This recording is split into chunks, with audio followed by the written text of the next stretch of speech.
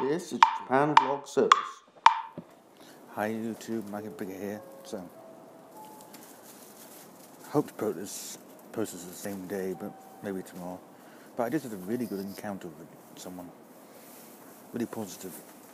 A lady standing outside my local 7-Eleven. Just about to go to the, use their toilet basically. And I I see a woman walk out and she drops a glove. I shout, Someone must saying, excuse me, and give it to. Go into the 7 Eleven, do the business as well, and come back out. And when they come back out, she's still there actually.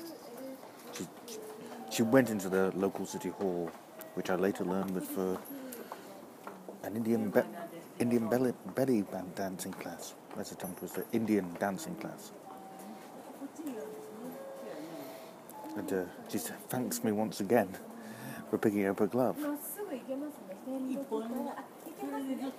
Gotta say, I know it might sound sound really nasty, and I'm not meaning to suggest that Japanese people are mean or you know angry or anything like that. You know, but yeah, I've had quite a few negative encounters. Maybe maybe I am the first disabled Western Westerner they've ever met.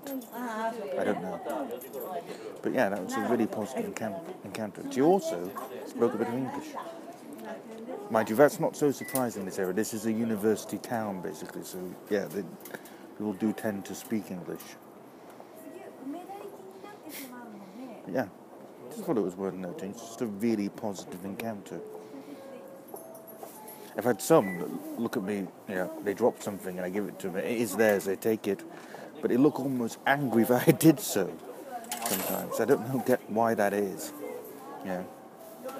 But never mind. Anyway, see ya. Bye.